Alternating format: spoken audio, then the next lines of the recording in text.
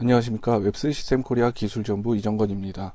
이번 동영상에서는 선형 패턴에서 참조까지라는 옵션에 대해서 알아보도록 하겠습니다. 선형 패턴의 참조까지라는 옵션은 SOLIDWORKS 2015에서 신기능으로 추가된 옵션입니다. 쉽게 생성하고 개선된 기능에 대해서 알아보도록 하겠습니다. 현재 SOLIDWORKS 2014에서 오픈한 닥트입니다. 이러한 표준 부품들은 길이에 참조하여 홀 수량이 같이 변경이 되어야 합니다. 하지만 솔리드웍스 2015 참조까지라는 신기능이 추가가 되기 전까지는 테이블을 이용해서 패턴의 수량을 설계자가 부여를 해야만 적용을 하실 수 있었습니다. 이처럼 설정을 추가함으로써 다소 불편한 사항이 있었습니다.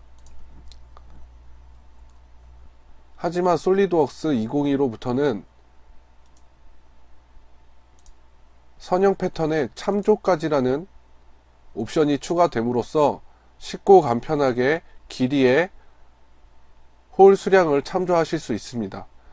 참조가 되는 면을 선택을 하여 확인 버튼을 누르게 되면은 설정에 맞는 길이 값만 설정만 추가함으로써 쉽고 간편하게 홀을 참조하실 수 있습니다. 또한 선형 패턴에 인스턴트 수라는 옵션을 체크를 하여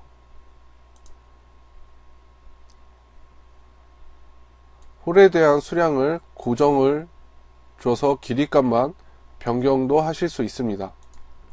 이처럼 선형 패턴에서 참조까지라는 옵션을 통해서 쉽고 간편하게 길이에 참조되는 형상을 생성하실 수 있습니다.